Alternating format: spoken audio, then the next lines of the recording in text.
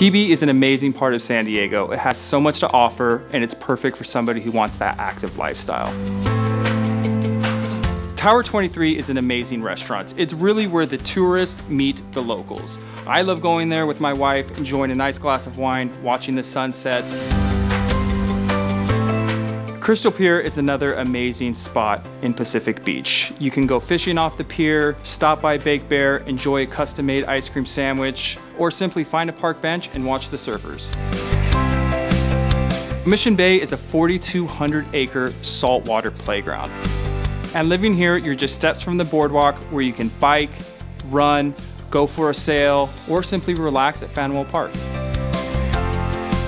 1162 Pacific Beach Drive is in a well-maintained complex and offers a full-size two-car garage with off-street parking. When you walk in the front door, you're bombarded by natural light and the open floor plan is perfect for entertaining. I love the west-facing master bedroom. The morning breeze comes through, has a walk-in closet, a private balcony, which is a perfect place to enjoy a glass of wine at the end of the day. The downstairs bedroom is perfect for someone who works from home, can easily be converted to an office, and has its own private balcony.